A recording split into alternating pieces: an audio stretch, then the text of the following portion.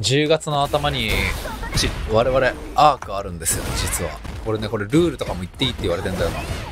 そう俺ね9月2日からはもうスト610日間ぐらいやれないんで。あ、10月っすよね？あそうそうそう10月2日だ。アーク。あそうアーク。あちなみにアークは今回は協力プレイですよ。MMO みたいな感じ。全部で全員で一つの町に住む。町に住むっておかしいけどまあ要はなんかかコアがあってそっからこう棒で伸びていくのよ土台が土台が伸びてった先に各拠点がある感じあ規制マップのはずなんか新しく出たやつなんだっけなマップ忘れた名前あの馬のマップかな？なんか馬の銅像とかあるやつ。場所。割と新しいやつかな、多分。あ、フィヨルドかな？確か。で、恐竜がフェニックス以外がほぼいて、で、これマジ重要なんだけど、あ、いや、そこれ、この情報後にしよう。えっと、さっき言ってたさ、コアがあって、で、コアから土台が伸びてった先に、こう、街ができていくというか、こう、出てくんだけど、定期的にね、レードが来ます。恐竜の。恐竜レードが来ます。それをみんなで耐える。まあ、だからそこはそう、セブンデイズトゥーダイ的なシステム。ただ、その明確な時間とかは決まってないから、まあ、そこは多分流動的になると思う。あの、その GTA とかもさ、あの、この時間は犯罪しないでくださいねとか、やっぱ人のが多い時間とか少ない時間とかあるじゃん。だまあそこの辺は、まあなんかちょっとその調整しつつみたいな。えっとね、一人が捕まえれる恐竜が、2体。そう。だからね、協力絶対しなきゃいけない。職業みたいな感じになる。だから一人じゃ鉄取れないとか、一人じゃな何々できないがめっちゃ出てくる。で厳選もない代わりに、恐竜のレベル上限がめちゃくちゃ高い。でもそもそも恐竜が145と150しかいない。野良、野良脇が。で、えっとね、レベルがね、いくつまでいくって言ってたかななんか500とかまでいく。めちゃめちゃ強くでいく。だから後輩がいらない。で、代わりに、代わりに、テームが当倍。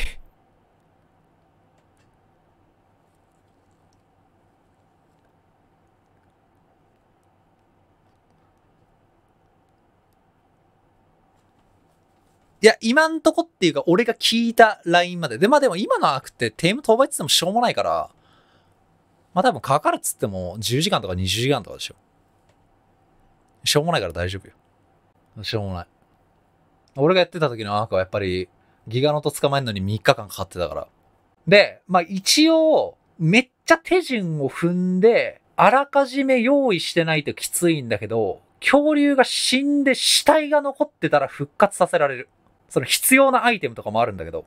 要はさ、その自分が捕まえた恐竜がさ、それこそさ、まあ、極端な話、ギガノトとか多分捕まえるのに10時間以上かかると思うんだ。モンスターボールとかのさ、文明に行く前に、自分がログインしてなくて、外で放置してるタイミングで、そのさっき言ってたレードが来て、死んだりしたら、まあ、さすがにちょっとさ、配信者のコンテンツとして微妙じゃん。まあ、だから、そこは、まあ、生き返らせることができるよって感じ。で、一度捕まえた恐竜を意図的に逃がしたり殺したりするの禁止です。ちなみにね、もうね、なんかテストプレイしてる。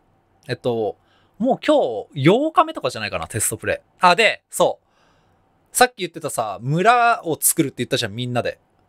で、それ以外の場所に建造物を置くの禁止だから、あの、罠はめできません。ただ、はめるのは OK。地形はめと、例えば恐竜ではめるとかはあり。だけど、あの、建造物ではめるのなし。それでね、5日目でね、ギガノト捕まえてたっつってたね。なんだっけな、ティラノとかね、あの、あいついたじゃん。メイウェザー。メイウェザー3体とかで壁際に追いやってなんか体ではめて捕まえたみたいなこと言ってた気する。そう、なんかそういう感じので、あと、マップの至るところにダンジョンのボスがいる。だからあの、なんか変なマンティコアみたいなやつもいたし、えーっと、あと何だったかな？あの、なんかワイバーンみたいなやつ？とかもいたし、あと、アルファワイバーンとかが普通に野良湧きしてたね。レベル200とかの。いや、初心者きつくないと思う。あの、要はみんなでやって、みんなで絶対に協力をしなきゃいけないから、初心者も一緒にその上級者の輪に入るのがもうほぼ必須なんだよね。だ例えばさ、そう、鉄を取れるアンキロを捕まえたのが初心者だとしたら、そのアンキロを持ってる人がいないと、そもそも鉄が取れないから、そう、上級者も初級者の恐竜に助けてもらわなきゃいけないし、恐竜の譲渡もなし。なはず、なはず。ちょっと待って、そこは俺確認してないけど、意図的に逃がすのと殺すのはなしだから多分なしなはず。あ、そうだ。えっと、なんかね、雲みたいな恐竜がいんのよ。あの、手持ちの恐竜を餌にして捕まえる恐竜？恐竜っつうかまあ、あの、雲みたいなやつ。そいつの餌にしてそれがそいつになってたね。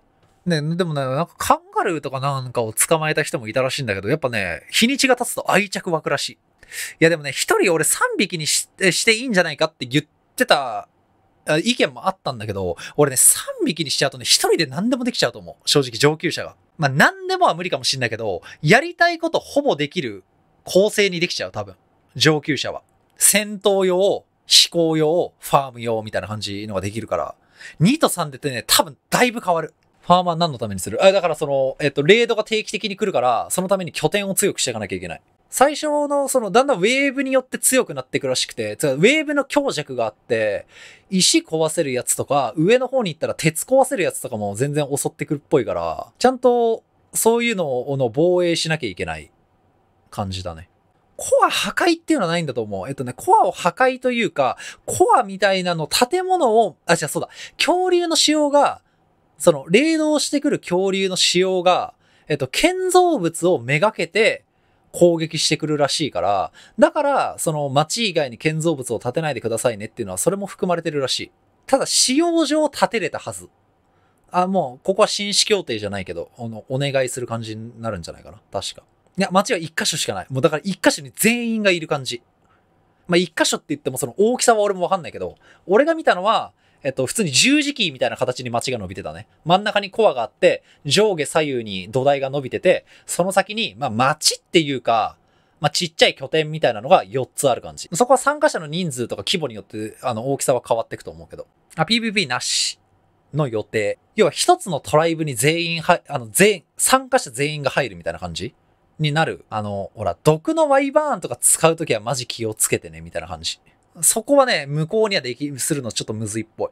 あ、あとそうそうそう、あのね、弱い恐竜を捕まえなきゃいけない人もいて、なんだっけ、何の恐竜捕まえなきゃいけないんだっけな、あの、特級キブル作る係とかね。まあ別に必須じゃないけど、いやいや、まあかわいそうっていうか、そこは自分の選択だから。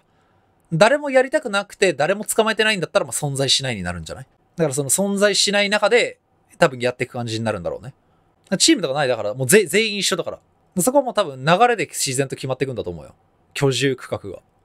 マジねこの話してる時に聞いたんだけどさ、進撃の巨人のモッドあるらしくてさ、まあ俺、もっと基本反対派だから、で俺マジで反対派で、そういうのって基本違法じゃん。違法っつうかまあ、許可なんか得てるわけないじゃん。で、まあこういう公式のイベントでやったら余計できるわけないじゃん。だけど状況的にさ、みんなで街に住んでてさ、城壁作ってってさ、目の前の山からぬーって50メートル級の何かが出てきたら、めちゃめちゃおもろそうではあるよな。その時人類は思い出しそうだよな。まあ、巨人が発生してる時街からギアさんが消えてるんやろうな。だまあそんな感じかな。概要は。かなり面白そう。